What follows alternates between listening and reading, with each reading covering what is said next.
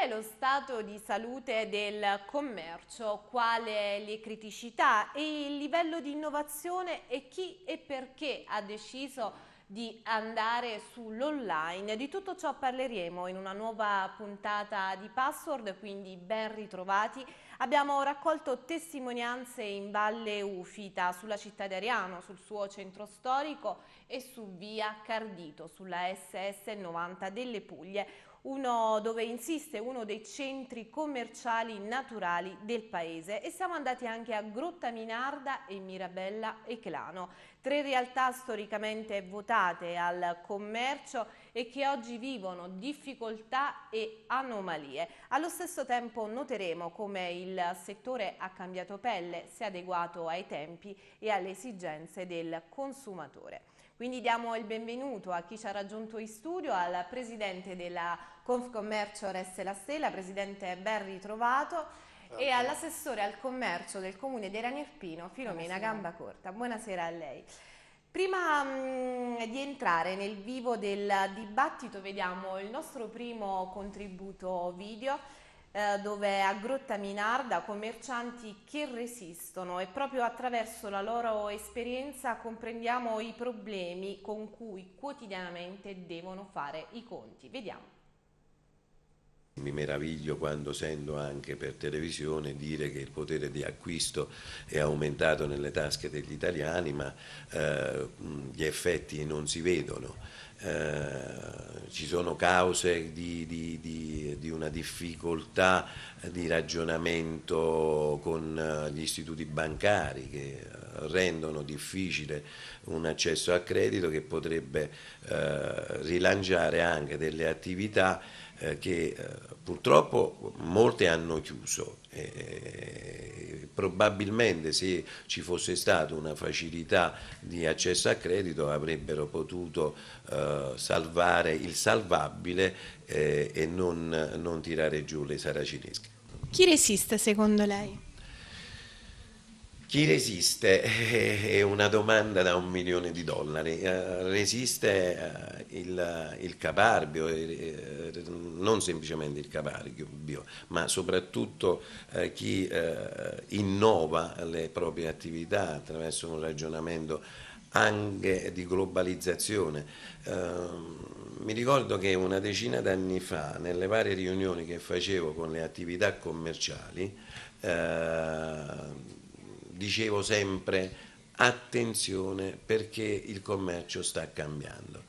Sta cambiando con, con, con la globalizzazione che c'è stata, che con un semplice clic mi posso ritrovare a comprare un, un prodotto in, in, Australia e mi arriva con prezzi sicuramente più appetibili. Infatti devo cogliere l'occasione di ringraziare anche il Presidente Costantino Capone che con la Camera di Commercio si è prodigato eh, nel, nel, nell'incentivare, nell'incentivare, il discorso uh, online uh, attraverso dei bandi ben precisi che uh, permettevano le piccole attività di attrezzarsi con computer, PC o eventualmente software che permettevano questo tipo di vendita online, quindi potenziare le attività presenti. Che cosa si può fare? Secondo lei qual è una delle possibili soluzioni per il settore commerciale?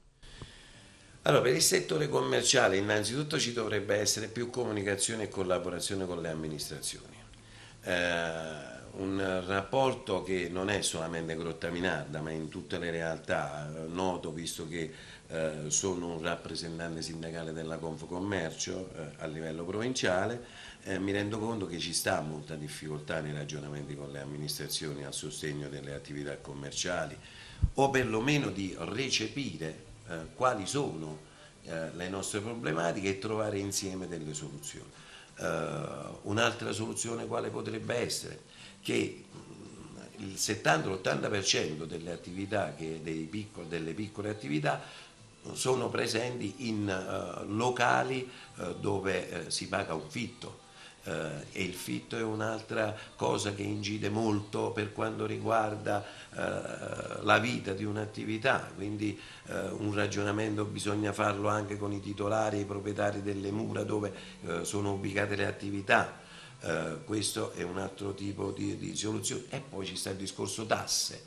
Discorso tasse, che, che eh, e questo è il discorso che bisogna affrontare con le amministrazioni, eh, è un'altra cosa che va a incidere eh, pesantemente eh, sulle attività. Quindi se noi facciamo la sommatoria di queste cose vi rendete conto eh, che ci sta una, uh, ogni attività la mattina si deve alzare e, e deve davvero sgomitare, lottare per cercare di far fronte a tutte queste, a queste tante spese che bisogna affrontare con, un, uh, con la difficoltà poi di, di, eh, di, recepire ancora più utenza per, per migliorare le proprie vendite affitti e difficoltà di accesso al credito bancario. Direttore, il 2015 come è stato per il settore irpino, per il settore commerciale irpino?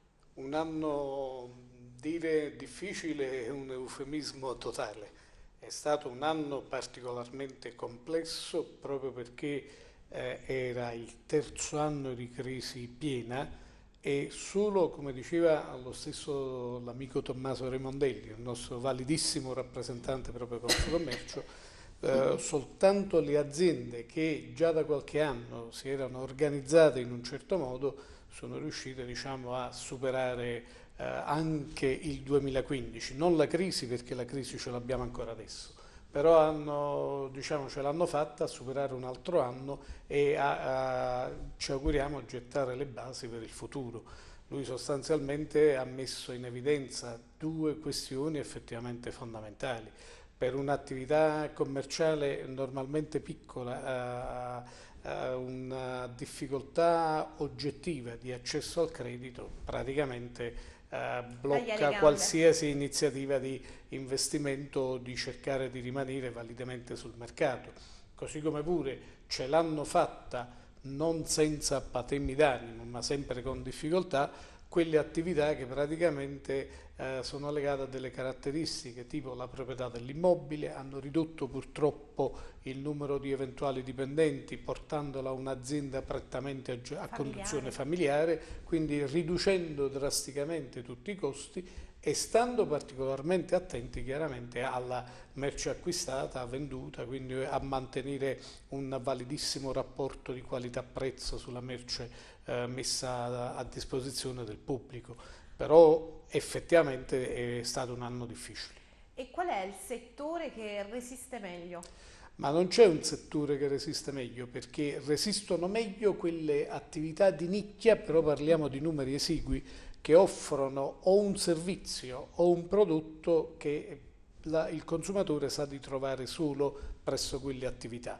Tutte le altre che praticamente mettono in vendita prodotti che più o meno si possono trovare ovunque, parlo tanto dei grandi marchi, tanto de, della merce diciamo più a buon mercato, tra virgolette, oggettivamente è legato tutto all'ubicazione, alla capacità imprenditoriale del titolare e soprattutto è fondamentale il valore aggiunto che il titolare stesso può dare rispetto alla vendita della, della, propria merce, cioè quella consulenza che è stata tipica storicamente sempre esistente da parte dei titolari di attività commerciali, consulenti da offrire gratuitamente a qualsiasi cliente, a consigliare il cliente su quale eh, oggetto può essere migliore rispetto al prezzo, rispetto alle condizioni soggettive e così via. Sembra un ritorno ai negozi di vicinato? Però su basi totalmente diverse, cioè nel senso che il fatto del valore aggiunto legato alla consulenza del titolare e soprattutto per la concorrenza fortissima che negli ultimi 10-15 anni viene dalla grande distribuzione. La grande distribuzione ha la capacità e la caratteristica di offrire quasi qualsiasi tipo di merce, ma io vado lì, compro e non ho alcuna consulenza su com'è quel prodotto a meno che non lo conosco. Il piccolo commerciante ha ancora dalla sua il vantaggio di poter supportare il cliente da questo punto di vista, però deve fare tantissimo per fare in modo che poi il, il prezzo sia comunque concorrenziale. La scommessa ormai da qualche anno è su questo. Soffermiamoci anche sulla questione dei locali in affitto dove appunto abbiamo sentito l'intervista in cui se ne parlava. Eh, ad Ariano, ad esempio, direttore, in zona Cardito parliamo di affitto locali a 10 euro al metro quadro e 15-20 eh, al centro storico lungo via d'affitto, quindi circa 5.000 euro al mese e 60.000 euro all'anno solo per questa, diciamo, solo per i fitti vanno via. Il, mm, sempre nel, nel, comune del Tricolle la civica amministrazione ha fatto un progetto, è un progetto sui negozi sfitti in centro con sgravi fiscali. Assessore Gambacorta, avete avuto dei riscontri oppure nessuno ha aderito? Allora, lo scorso maggio l'amministrazione comunale ha pensato di dare un segnale eh, di vicinanza proprio alle attività commerciali ehm, e abbiamo fatto un po' di ricerche, abbiamo verificato la possibilità eh, di immaginare degli incentivi che riguardassero esclusivamente la Tari, la tassa sui rifiuti, perché le amministrazioni comunali non hanno grande autonomia, quindi non è che possono decidere se eh, riscuotere o meno una tassa. Solo con la, con la, legge di stabilità del 2004 è stata prevista questa possibilità, ehm, solo in riferimento alla Tari e che avesse poi una copertura eh, con fondi comunali.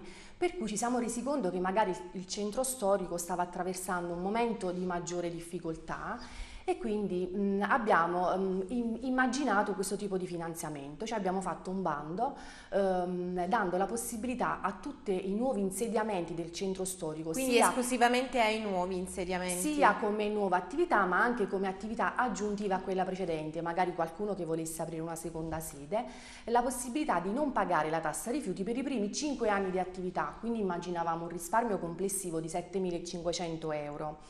Um, ora, allo stato attuale n- abbiamo comunque avuto un saldo positivo, nel senso che abbiamo registrato nel centro storico, nel perimetro eh, individuato dal Consiglio Comunale, eh, molto ristretto, eh, comunque un aumento delle attività commerciali, poco meno di una decina, ehm, e adesso sono in corso di istruttoria diverse domande. Quindi diciamo che rispetto alla tendenza generale che è quella di contrazione delle attività commerciali, noi abbiamo avuto un primo segnale eh, positivo eh, e che quindi abbiamo potuto, mh, diciamo, anche se non si è esaurita la fase istruttoria, anche perché la tassa rifiuti prevede un po' di, di sfasamento tra il momento dell'imposizione e quello del pagamento, per cui dal 16 aprile, che è il momento dell'ultima rata, potranno essere richiesti rimborsi per le tasse già pagate.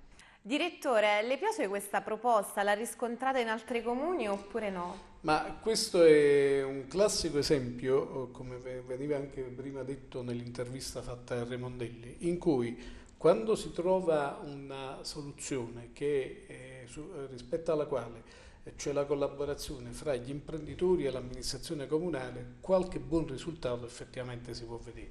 È chiaro che eh, non ci sono, come diceva l'assessore, dei margini di manovra talmente ampi da che chissà quale incentivo potersi inventare, però questo è già un grandissimo segnale di come si cerca di fare in modo che eh, si vede la struttura imprenditoriale commerciale come una risorsa per il territorio, non come purtroppo, senza polemiche eh, lo dico, avviene in qualche altro comune, fortunatamente pochissimi, in cui quasi il commercio o altre attività imprenditoriali vengano viste come una sorta di palla al piede eh, della società di quel territorio comunale. Ad Avellino com'è la situazione? Ad Avellino è una situazione rispetto alla quale non tanto con questa amministrazione, ma lo dico senza remore perché ne abbiamo parlato per anni, purtroppo con amministrazioni precedenti non, non, non, non, che, non esisteva il fatto che mancasse il dialogo, ma veniva quasi visto tutto il comparto eh, imprenditoriale del terziario, io non parlo del commercio, ma proprio del terziario,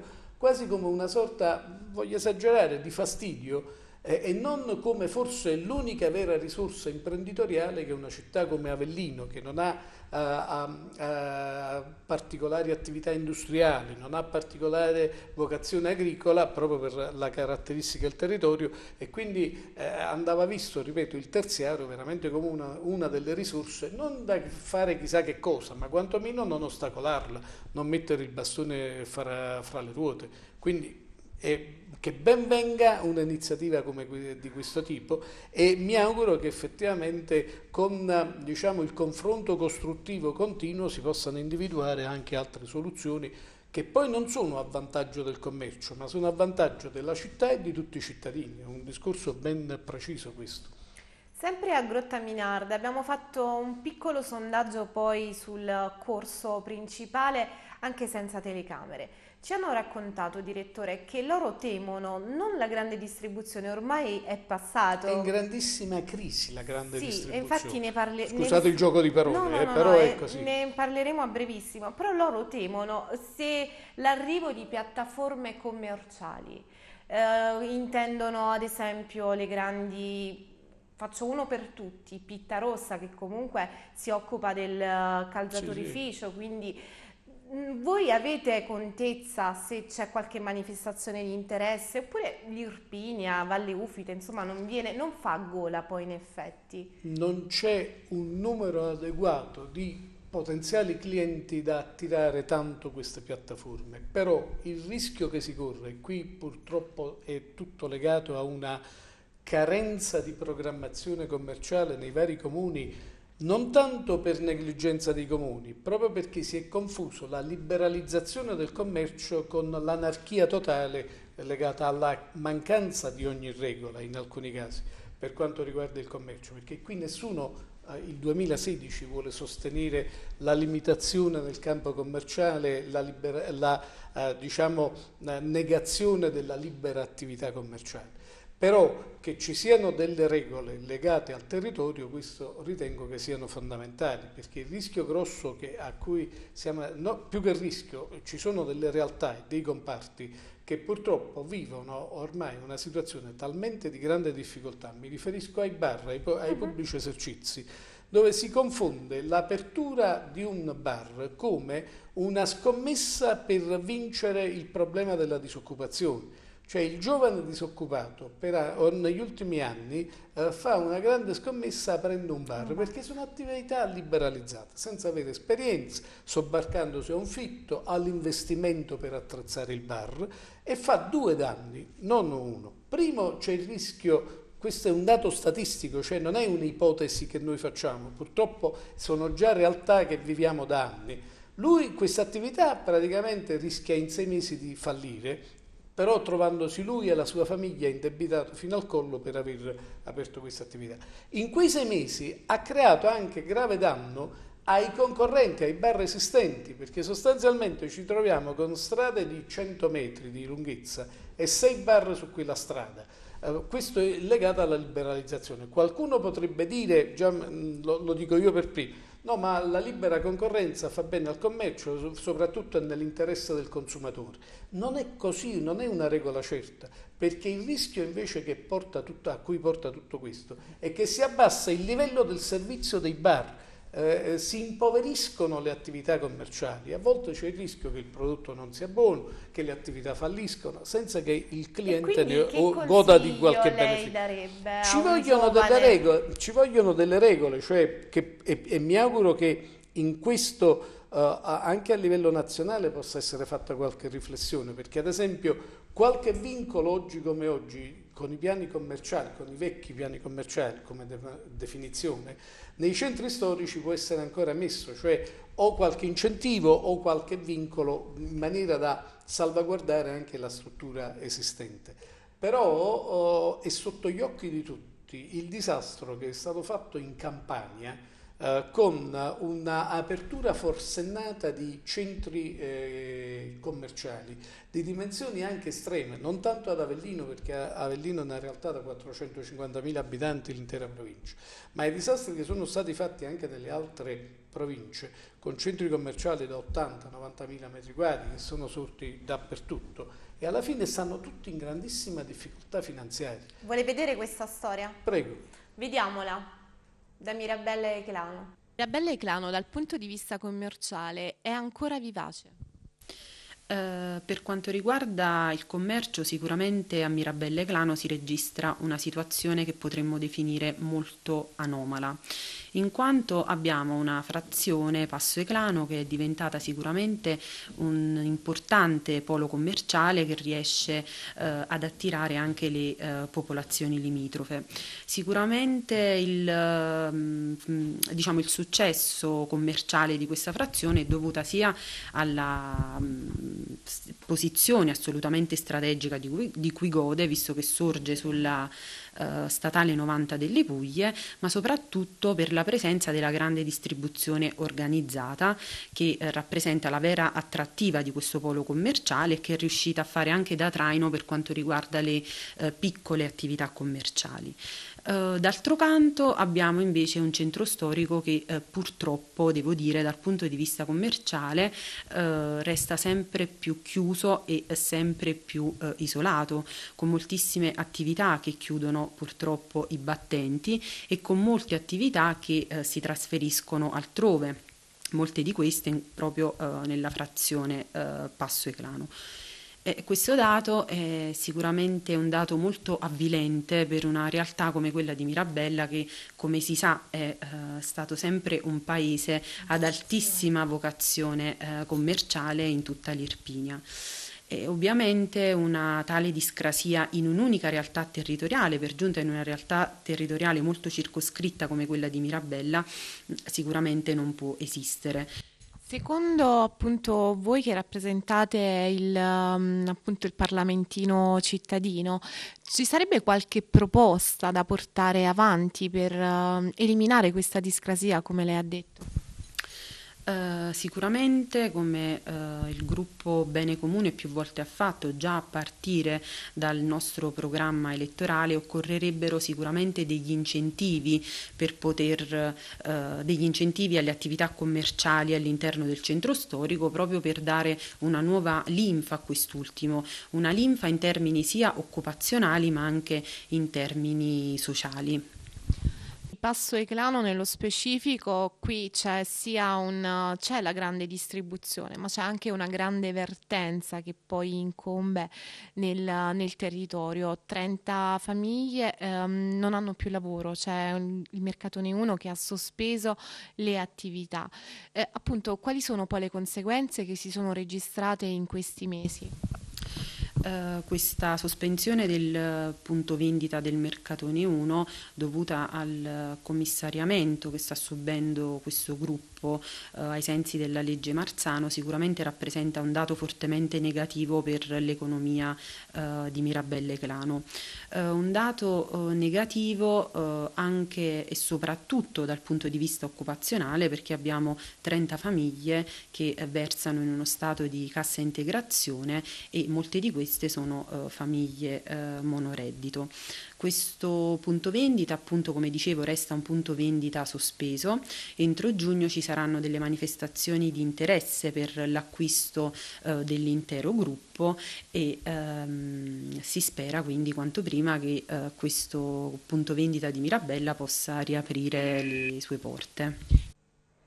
I centri commerciali, secondo lei, sono sovradimensionati rispetto al bacino d'utenza, quindi parliamo ovviamente della frazione di Passo Eclano? Ma mh, mm, facciamo un discorso prima di carattere generale, poi ci colleghiamo a Mirabella e a Passo Clano. La confusione che è stata fatta negli anni è che la grande distribuzione poteva portare esclusivamente benessere al territorio. E invece c'erano due valutazioni da fare. La prima di impatto ambientale, si parla tanto di salvaguardia uh-huh. dell'ambiente, ma ci sono delle aree in cui sono sorti di centri commerciali, non in questo caso specifico, io sto parlando in generale, dove praticamente in termini di viabilità si è intasato tutto, si è bloccato tutto e quindi non sappiamo a livello di inquinamento che cosa accade in quelle aree. Secondo problema, ha creato enormi difficoltà alla piccola distribuzione. Terzo problema, sono sorti spesso e volentieri senza una razionalizzazione a monte, perché c'erano i piani commerciali, c'era la programmazione regionale che li avrebbe dovuti vincolare, ma la Regione Campania follemente, al di là del colore politico, in certi momenti ha quasi permesso una liberalizzazione della grande distribuzione. Questo è stato il vero dramma rispetto al quale noi ci siamo trovati e purtroppo sostenere la tesi che andavano limitati i centri commerciali poteva quasi sembrare, uso sempre un eufemismo, anacronistico, perché venivano visti come la novità, il futuro e così via. Oggi, Venivano. 2016, ci siamo accorti che sono certamente una forma di vendita molto evoluta, ma certamente non risolvono il problema per tutti i consumatori e soprattutto hanno creato anche degli sconquassi in termini economici, nel senso che dove c'è stato un numero non limitato, ma proporzionato alla realtà territoriale, cioè se io ho un territorio da 400.000 abitanti, è chiaro che più di tot non ne posso mettere. Se ho un territorio da 4 milioni di abitanti, automaticamente il discorso è diverso. Ma se io su 400.000 abitanti vado a mettere un numero enorme di grande distribuzione, non va bene la grande distribuzione, cioè il paradosso che è avvenuto in campagna è che a un certo punto più o meno la piccola distribuzione si era adeguata alla crisi e quindi riusciva, quelli che erano organizzati eh, riuscivano, riuscivano a sopravvivere. La grande distribuzione è andata quasi completamente in difficoltà enorme da un punto di vista finanziario perché non riuscivano assolutamente a coprire i costi enormi che, ha una, che hanno strutture del genere. Eh, a questo aggiungiamoci anche il problema dei parcheggi perché si è preteso in certe realtà addirittura di far nascere una grande distribuzione quasi al, all'interno di un centro abitato senza viabilità ma soprattutto senza parcheggi, quindi effettivamente uh, iniziative che non avevano né capo né coda da questo punto di vista. E invece di Passo Eclano di Passo Eclano, quindi adesso fortunatamente c'è una fase quasi in cui non si vedono più queste aperture uh, folli dalla sera alla mattina uh, di grande distribuzione, anche perché, e qui arriviamo alla questione di Passo di Mirabella, quasi tutti i grandi gruppi, quando parlo di grandi gruppi, parlo di Liga delle Cooperative, Carrefour e così via, hanno fatto una ristrutturazione fortissima del personale, perché l'incentivo qual era? Io apro una grande distribuzione e creo 30 posti di lavoro, 80 posti di lavoro, 200 posti di lavoro. Con la crisi molti di quei posti di lavoro in tante situazioni si sono persi. Passo Eclano. Passo Eclano purtroppo uh, è diventato un polo commerciale perché, veniva anche detto correttamente nel servizio, sta attirando gente.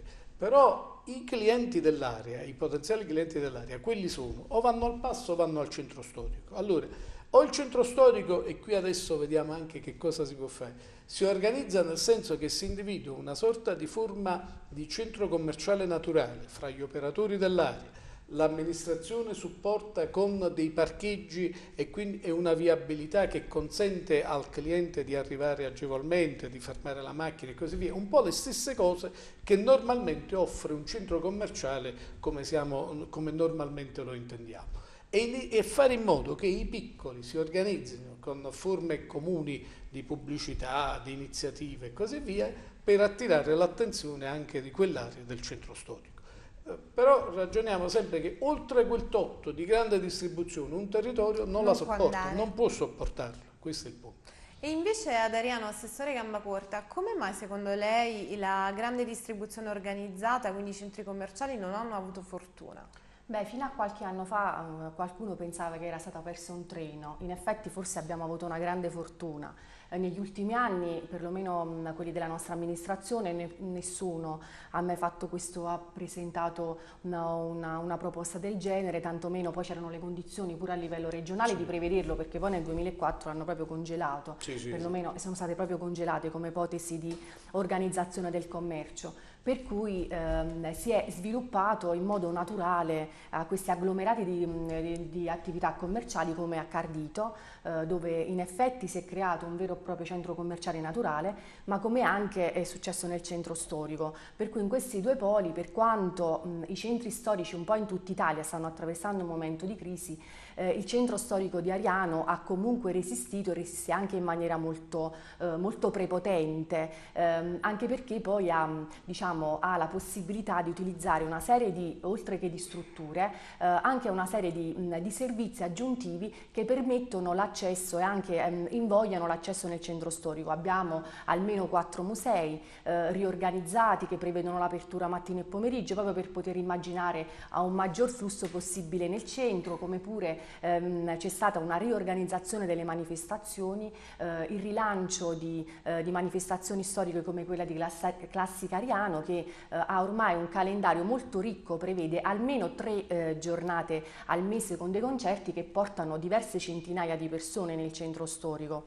E lo, Io no, le volevo dire, siccome abbiamo prima un contributo da Via Cardito, che è questo consorzio, cioè questo centro commerciale, Commerciale naturale, naturale, sì. che riunisce un centinaio di attività. Noi abbiamo intervistato il presidente che è Nicola Grasso, tra l'altro lo stesso guida anche Irpigna.com, il consorzio di promozione commerciale della provincia con 220 aziende. Quindi, quindi sentiamo prima cosa dice e poi replichiamo. Come Irpigna.com, ma anche come centro naturale via Cardito, voi siete un osservatorio privilegiato in qualche modo. Avete il polso della situazione sia per gli aspetti, diciamo, critici, ma anche per le positività. Quali sono? Ma noi con il consorzio ehm, che è di ambito provinciale, come correttamente diceva, ehm, sono ormai dieci anni e più che eh, effettivamente mh, abbiamo notato che in provincia ci sono eh, cresciuti dei poli commerciali a discapito però di altre realtà. E quindi eh, per non andare troppo fuori è normale che il polo commerciale di Mirabelle Clano semmai è andato un po' a discapito di attività eh, che ehm, nel circondario avevano un loro bacino di, di utenza che è venuto meno. Il polo commerciale direi di Torrette di Mercogliano ha un po' messo in crisi semmai il commercio in Avellino Centro e il centro commerciale di Via Cardito eh, effettivamente ha drenato un po' di eh, dire, risorse dal commercio de, de, di, del centro di Ariano ma anche dei paesi limitrofi. Questo poi bisogna vederlo diciamo, sempre dall'aspetto, eh, come dire, io dico positivo, nel senso che sicuramente un'offerta commerciale più eh, forte, più presente, dovrebbe dare impulso anche a quelle attività semmai che soffrono. Posso fare un esempio, nel settore appunto dell'abbigliamento, delle calzature, in un chilometro di strada in via Cardito si contano 40-45 attività che a volte eh, non vengono neanche promozionate al meglio perché sfido di trovare 45 attività di un unico settore in qualsiasi centro commerciale al chiuso direi che tanto vanno in voga nelle vicine Caserta, Benevento, Napoli. Questo poi non è un aspetto anche a doppio, a doppio taglio, quindi negativo poi sul, sul fatturato? troppi esercizi commerciali della stessa natura? Non credo, anzi io dico che una sana concorrenza fa sempre bene, anche perché poi il target, per usare un termine più tecnico, è veramente per tutte le fasce di, diciamo di, di, di richiesta, perché si va dal negozio outlet alla, alla boutique con grandi marchi dove l'utente finale sa che deve spendere. E sicuramente per quello che dicevo prima eh, avere dei costi mh, sotto controllo far sì che poi eh, questi negozi possano sopravvivere rispetto al negozio che ha le stesse diciamo, mercanzie però in un centro più grande dove sicuramente i costi di gestione sono più alti. Ma com'è la vita? L'ultima domanda le faccio di un commerciante di via Cardito, è semplice, è facile? Mm, diciamo che negli anni eh, la figura si è dovuta per forza di cose evolvere, perché forse il termine commerciante oggi ci sta un po' stretto, perché eh, bisogna essere imprenditori della propria azienda.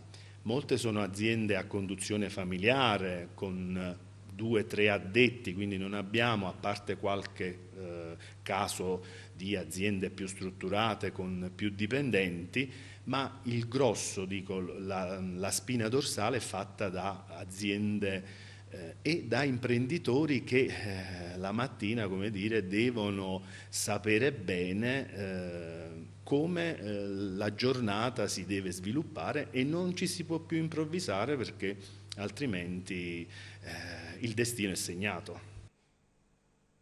Quante attività nuove sono nate ad Ariano nel 2015? Allora, nel 2015 abbiamo registrato 40 nuove aperture e però d'altra parte abbiamo avuto una trentina di chiusure, poco meno di 30, comunque abbiamo un saldo positivo, quindi eh, questo ancora di più, di solito c'è stato praticamente il subingresso, quindi diciamo che nella maggior parte dei casi si è avuto la, la sostituzione di un negozio con un altro. E in, diciamo netti abbiamo avuto una quindicina di attività nuove in tutta Ariano. Ma ci sono, ehm, scelgono ancora Ariano dalla provincia per aprire un nuovo negozio? Sì, comunque eh, viene considerato un mercato um, comunque molto appetibile perché ci sono diverse persone che scelgono uh, di, di, di, fare questa esperienza oppure di, di, aprire una seconda attività proprio um, nel comune di Ariano. Quindi diciamo che i, i, comuni, eh, i comuni viciniori ci aiutano in questo perché ci sono diverse persone che scelgono di vivere ad Ariano prima di tutto e poi di fare impresa ad Ariano. Direttore, lei invece, i suoi associati, che cosa dicono della, della città di Ariano dal punto di vista commerciale? Come se la passano?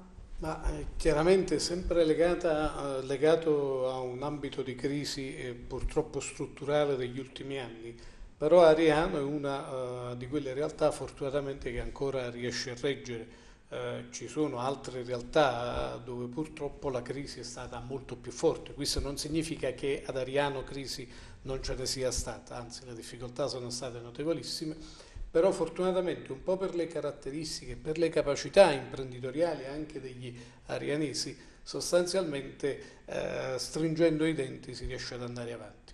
Un'altra componente importante è quella del ricambio poi generazionale, perché questo automaticamente comporta, come accennava pure prima l'assessore, dove c'è un ricambio generazionale all'interno dell'attività commerciale, c'è anche una spinta verso eh, l'innovazione ed è fondamentale che chiaramente un imprenditore del terziario del commercio guardi soprattutto a questo tipo di cose. Invece andando nel centro storico del Tricolle abbiamo raccolto un'altra testimonianza, eccola. Quali sono le criticità che vive un'attività commerciale nel centro storico del Tricolle? Allora, le criticità sono mm, quelle che ogni giorno ci riportano i nostri clienti. Cioè, mm, vuol dire, mm, il problema principale è quello della viabilità, cioè trovano un grande scoglio che è quello del traffico giù a Cardito, gente che parte con due o tre ore di anticipo e poi arriva qui al centro magari in orario di chiusura senza immaginarlo nemmeno.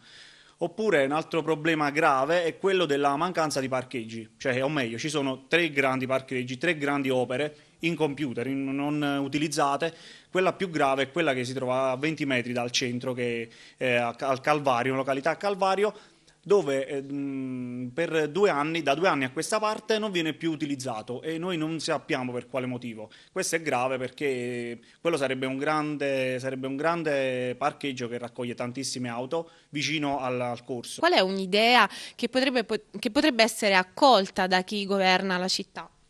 Allora, guarda, semplicemente secondo me non c'è bisogno di grandi opere, di grandi finanziamenti europei, questi enormi finanziamenti, semplicemente basterebbe rendere fruibile eh, quello che già c'è cioè senza fare grandi investimenti, eh, creare, mh, di eh, sbloccare quel tappo che si crea a Cardito con dei dissuasori. Adesso non sono tecnico, però credo che ci siano delle possibilità, come succede in tutte le città, di evitare quell'imbottigliamento giù a Cardito e questo sarebbe importante. Secondo, secondo eh, rendere possibile l'accesso alla città con una segnaletica adeguata, eh, con un'accoglienza un po' più eh, semplice e dei parcheggi eh, accessibili a tutti, che mancano, cioè ci sono ma non sono utilizzati e questo è gravissimo. Quindi conviene o no eh, avere un esercizio commerciale sul, sul Tricolle? Sì, conviene, noi ci crediamo ancora, crediamo nel centro storico di Ariano. Loro ci credono ancora, però vorrebbero delle risposte da lei, Assessore. Innanzitutto, che cosa possiamo dire di questo Silos Calvario che attualmente è aperto solo un, solo un piano? Quando si sbloccherà questa situazione? Allora, i lavori sono stati completati già da un po' di settimane, eh, tutte le prescrizioni ehm, che c'erano state fatte dai Vigili del Fuoco avuto, um, eh, sono state realizzate tutte le opere necessarie per avere tutte le autorizzazioni, eh, quindi ci sono stati degli interventi sull'impianto elettrico, eh, sulla, sulla, sulla segnaletica, piccoli lavori di muratura, tutto quello che era necessario. Eh, la, la struttura è oggi completa. L'unica cosa che non abbiamo ancora deciso come gestire la struttura, quindi immaginare un controllo maggiore. Esistono le telecamere, sono già funzionanti, quindi questo lo possiamo già dire e sono già da un paio di settimane che eh, sorvegliamo, video sorvegliamo la struttura. Eh, e ripeto, l'unica diciamo, eh, servirà un po' di tempo per decidere come gestirlo, cioè se farlo con dipendenti comunali, se organizzarlo in maniera ehm, con, delle, con, delle, strutture ehm, diciamo, automaticamente, quindi con, eh, con il biglietto di ingresso e di uscita, quindi è solo questo da decidere, ma la struttura ad oggi è completa um, ed è la struttura chiaramente il parcheggio più grande che sicuramente darà uno sbocco, um, anche perché per i commercianti la, sempre l'amministrazione ha comunque immaginato che avessero la possibilità di utilizzarlo con un costo ridottissimo. Abbiamo immaginato che i commercianti, come eh, magari i dipendenti degli uffici, degli uffici, presenti nel centro, pagassero 12 euro al mese l'utilizzo del parcheggio, che eh, è parsa comunque, eh, è stata anche accolta di buon grado da tutti gli operatori del settore. Abbiamo parificato il, il, il commerciante a un nostro dipendente perché li consideriamo parte della famiglia, la struttura appunto gli sì, imprenditori sì, e, e, i commercianti. E, ehm, I lavori verranno ripresi anche per il secondo parcheggio, quello di Rione Valle, dove anche in quel caso ci saranno pochi interventi da realizzare, però sicuramente a breve verrà riaperta la struttura già completa e già videosorvegliata. Però il nodo chiave ad Ariano è la SS90 delle Puglie, sicuramente anche il direttore ne avrà contezza. Sì, esatto. Lì che cosa? C'è un progetto già sul, sul, tavolo, qualche proposta? Effettivamente il problema esiste e deve essere affrontato? Sicuramente, eh, sicuramente verrà affrontato in Consiglio Comunale e già eh, nell'elenco, diciamo, già è all'ordine del giorno, già è stato istruito il fascicolo per la discussione eh, chiaramente è una decisione che verrà presa dal Consiglio Comunale, non dal singolo assessore, tantomeno da quella al commercio, perché poi ci sono gli assessori competenti per materia, ma è già istruito il fascicolo, quindi ehm, anche questo penso che avrà una risposta a breve tempo, è all'ordine del giorno. C'è un'altra struttura, direttore, lei forse la ricorderà, Andriano era ricordata per il Giorgione, lo sì. storico hotel. Sì. Questo, questo complesso verrà abbattuto al, a giugno, all'inizio di giugno e anche su questo, Assessore Gambacorta, i, commercianti arenesi sono preoccupati, vogliono comprendere un po' eh, le modalità di abbattimento, la tempistica, ma la domanda chiave è questa, loro dovranno chiudere temporaneamente oppure non sarà necessario? Allora, io capisco qualche momento di dubbio, però insomma ad oggi ehm, questa amministrazione è riuscita ad avere, mh, a, a, completare diverse opere incompiute. Quindi diciamo che ad oggi non abbiamo eh, alle spalle opere incompiute, al massimo ci possono dire che abbiamo completato delle opere, sicuramente lasciate abbandonate a se stesso. Abbiamo, abbiamo recuperato totalmente l'agibilità del cinema comunale, ed è, stato un primo grande risultato, quindi che può essere utilizzato nella sua pienezza, quindi non più con limiti di capienza ma per tutti i posti a sedere possibili. È stata recuperata la struttura del Museo delle Ceramiche, anche quella non aveva tutti i requisiti, abbiamo certificato la struttura e adesso viene utilizzata per convegni, corsi di, convegni, corsi di formazione, concerti, dibattiti. Abbiamo ottenuto anche in questo caso ehm, tutte le autorizzazioni per il, il parcheggio multipiano del Silos Calvario.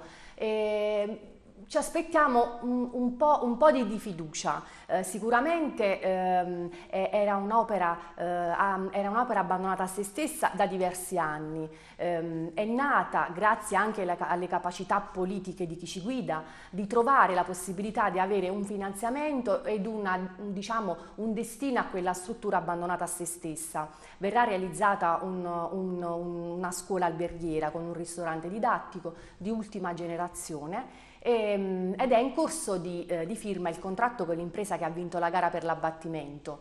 Non Parliamo di un'impresa ancora... sannita, giusto? Sì, è un'impresa sannita e non c'è ancora un, un, cronoprogramma perché parliamo di giorni, eh, magari tra qualche giorno riusciremo ad avere sicuramente le date, però non dovrebbe essere un, un, diciamo, non, non dovrebbe essere un cantiere lungo, non dovrebbe comportare parla al condizionale perché chiaramente fino alla firma del contratto eh, non, non, non, non, si possono eh, prendere impegni, eh, non dovrebbero comportare grandi eh, interruzioni del traffico, tant'è vero che la programmazione delle varie manifestazioni non ha subito alcuna modifica.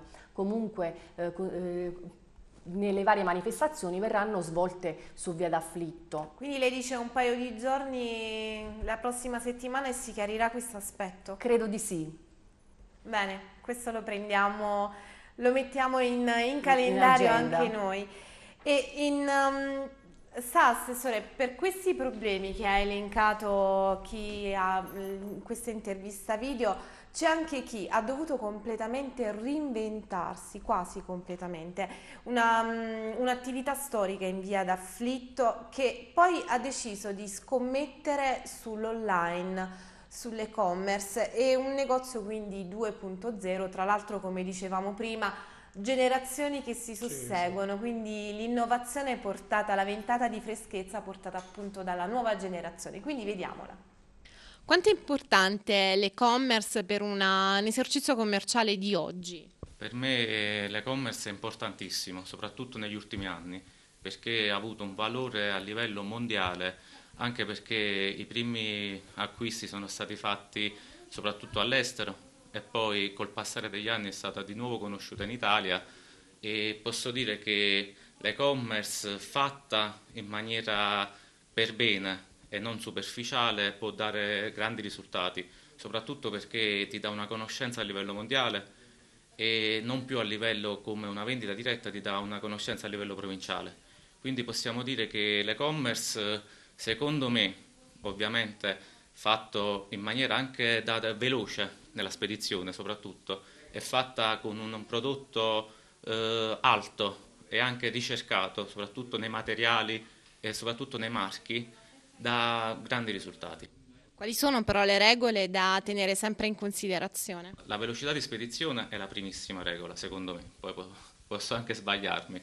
Poi un'altra regola è che il prodotto deve essere confezionato in maniera eh, adatta perché un, un, confezionamento in maniera superficiale si rovina soprattutto il prodotto e poi anche una cattiva figura nei confronti del cliente. E poi penso che un'altra regola, secondo me, è dare eh, anche qualche promozione nei periodi, diciamo, prima dei saldi al cliente per abituarlo a comprare nei nostri siti.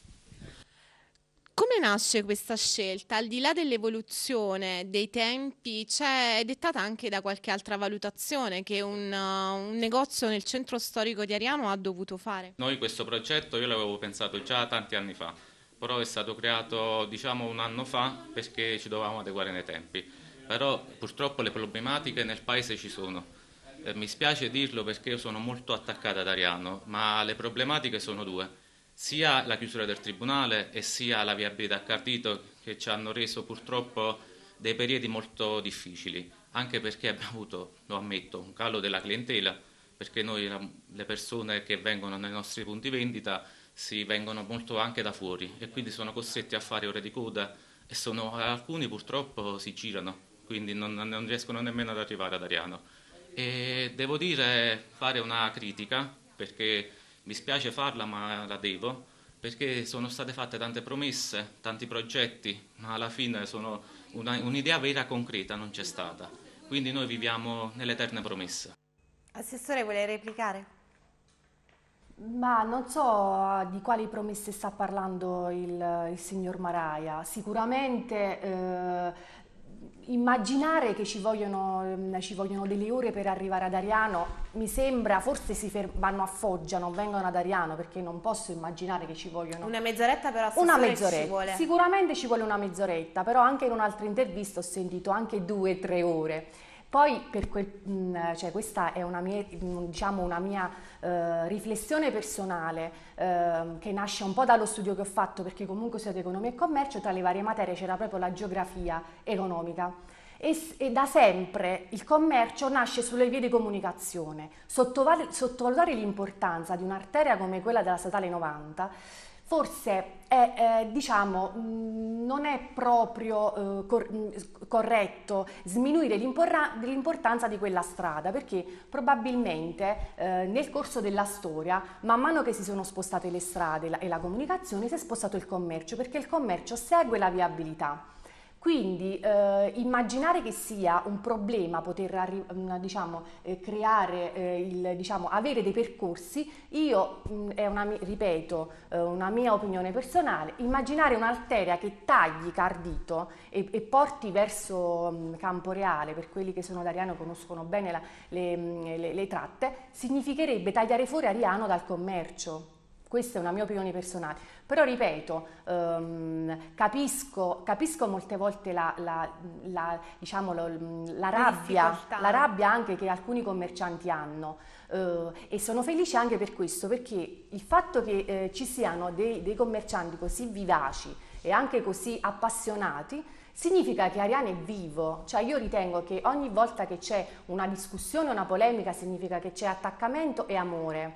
Eh, noi non abbiamo ancora commercianti scoraggiati, quindi per me è un punto di forza e sicuramente un bel punto di inizio. Um, però ripeto, stiamo lavorando su tanti progetti, non è vero che sono parole, non è vero che sono solo parole, magari il tempo ci darà atto e magari tra qualche mese risentiremo il signor Maraia. Se lei invece è d'accordo all'espressione se non sei online non esisti? Indubbiamente, ormai non dico che significa scoprire l'acqua calda, ma ci siamo vicini. Uh, è una forma essenziale di evoluzione di qualsiasi tipo di attività imprenditoriale, non solo delle attività commerciali. Cioè, oggi se non hai una vetrina online effettivamente non riesci a raggiungere potenzialmente tutti quelli che devi raggiungere se vuoi fare l'imprenditore. Eh, quindi io devo dire la verità, quei due che sono stati intervistati, io guardo nel video in effetti dove, sta, dove è stato eh, trasmesso il servizio, Uh, sono due esempi, non so se di ricambio generazionale, ma certamente di due giovani imprenditori. Due ricambi con... generazionali. Perfetto, manco a farlo apposta, ma di due eh, anche i giovani imprenditori con idee abbastanza precise. Io non ho sentito le vecchie solite lamentele da brontoloni, ma ho sentito un'analisi, anche una critica però costruttiva, cioè legata a migliorare per il futuro, per fare in modo che venga garantito il futuro di tutti, quindi delle attività imprenditoriali ma anche dei cittadini. Uh, si è parlato di viabilità, si è parlato di parcheggi, di un'evoluzione dell'attivo di attività. Per quanto riguarda il problema della strada statale 90, eh, in effetti non è tanto un problema di bypassare tutta Cardito da un, dal carcere alla galleria. L'esigenza è quella di far arrivare velocemente in centro nel centro storico le persone e garantire poi i parcheggi adeguati mh, sempre lì. Cioè è chiaro che se si bypassa tutta quest'area giù, sostanzialmente si rischia di distruggere una, una realtà che ormai si è sviluppata e porta, ritengo, benessere alla città di Ariano ma l'importante è non far sentire isolati tutti quelli che stanno sopra, cioè la valutazione attenta da fare è come io posso far arrivare nel centro di Ariano velocemente qualcuno e garantirgli poi il parcheggio. Senza e tagliare que- Cardito. Senza tagliare Cardito, però è questo che poi era, era anche la richiesta da parte del primo commerciante, del primo imprenditore, quindi, ed è fondamentale perché altrimenti abbiamo una compensazione, cioè li ho persi al centro, ho guadagnato potenziali clienti eh, giù a Cardito, ma io devo aumentare la potenziale clientela, altrimenti ho solo un riequilibrio della situazione, ma il numero complessivo è sempre lo stesso. Quindi ad esempio la, il primo tratto della Lioni Contursi a Grotta Minarda, questa variante che, che è stata fatta un po', ha creato questi, questi disservizi, questi problemi. Lei sicuramente avrà anche ascoltato i suoi, i suoi associati sì, in merito. Ma ehm, il, la, il, problema fondamentale delle attività imprenditoriali del terziario, quindi chiaramente automaticamente del commercio e del turismo, è loro mh, con grande senso di responsabilità e anche eh, senso, di, eh, senso di critica costruttiva hanno bisogno delle cose che sono state dette nei servizi, cioè mi dovete garantire la viabilità e i parcheggi. Io non voglio tappi e voglio che quando qualcuno arriva con l'auto, eh, praticamente pagando il giusto, non cifre sproporzionate, eh, automaticamente eh, riesca a ottenere quello che serve in un tempo eh, estremamente rapido. Quello, ripeto, che è lo spirito dei centri commerciali to court, cioè come siamo abituati a vederli, e che dovrebbe dovrebbero rappresentare tutte quelle condizioni al contorno anche dei centri commerciali naturali, come ad esempio quello di Cardito. Apriamo una finestra su Benevento, sulla città di Benevento, perché qui eh, Teresa Lombardo ha intervistato Luigi Alvigi, numero uno della Conf Esercenti. Anche Alvigi racconta di un uh, settore che ha perso un po' il ruolo da traino nella, nel capoluogo Sannita e di un corso quasi spento. Di cosa ha bisogno questa città e soprattutto di cosa ha bisogno la sua categoria? Abbiamo bisogno innanzitutto di riconsiderare la pedonalizzazione totale al centro storico. Noi come Confesercenti stiamo facendo un sondaggio che sta girando in questi giorni per rivalutare la possibilità di un transito eh, al corso Garibaldi. È fondamentale per riprendere un po' il possesso commerciale di questa cittadina. Troppo vasta, troppo ampia l'area. Siamo d'accordo col prefestivo e festivo, vogliamo di nuovo eh, durante la settimana il traffico veicolare, vogliamo di nuovo i parcheggi parcheggi di questo centro, vogliamo di nuovo tutti gli enti pubblici che sono andati via, vogliamo un Palazzo Paolo V con la pubblica amministrazione e vogliamo di nuovo una città viva che ad oggi purtroppo manca. Questo per quanto riguarda la nostra categoria. Eh, lei ha detto poc'anzi, insomma, ha parlato un po' delle difficoltà dei commercianti. Fondamentalmente, se voi vedete il centro storico non abbiamo mai avuto tante attività chiuse, tanti locali sfitti ormai già da un paio d'anni, senza locazione. Questo significa che si perde interesse in quest'area che prima era vocazione commerciale. Ed altri interventi che potrebbe fare il nuovo sindaco? Ma il nuovo sindaco innanzitutto deve puntare sulla cultura, cosa che ad oggi qua non c'è stato, benché i loro dati, non so quali, quali dicono il contrario. Noi come con, noi consumatori abituali li abbiamo riscontrati solo quelli storici e tradizionali, abbiamo perso la provincia innanzitutto perché non è più attratta da questa città commerciale. Lei avrà sicuramente dei dati. Per il mondo delle imprese noi abbiamo avuto una chiusura del 30% rispetto agli anni precedenti che è molto molto cresciuta rispetto all'apertura delle partite IVA, quindi questo già significa che eh, nel controvalore fra le aperture delle partite IVA e le chiusure abbiamo avuto assolutamente un danno per la nostra città. Problemi comuni sia ad Avellino, Benevento, la provincia e appello alle pubbliche amministrazioni. Fondamentalmente anche la Confcommercio come si orienta? Qual è l'appello più urgente? Quello è un classico esempio in cui non c'è stato il corretto dialogo e soprattutto il corretto confronto costruttivo fra associazioni di categorie, imprenditori e pubblica amministrazione, oltre che anche altre associazioni di cittadini, eh, consumatori e così via. Perché eh, tutti vogliamo vivere meglio o un livello migliore di qualità della vita, eh, che automaticamente viene abbinato in una qualsiasi cittadina o città eh, alla creazione di ZTL, quindi zone a traffico limitato, o addirittura proprio aree pedonali. Il problema è che se non ci sono anche qui delle condizioni al contorno che vengono però precostituite, no? che prima facciamo la ZTL o l'area pedonale e poi vediamo come correggere i danni, se non ci sono, se queste, eh, queste iniziative non vengono abbinate a condizioni al contorno banali ma eh, precise e rigorosissime, quali soprattutto la viabilità che permetta di accedere nelle immediate vicinanze della ZTL dell'area pedonale e soprattutto parcheggi ubicati in maniera coerente rispetto a, proprio intorno a quella che è l'area pedonale o le stesse ZTL, queste ZTL o aree pedonali rischiano di avere un effetto devastante sulla città o su quelle aree. La dimostrazione qual è?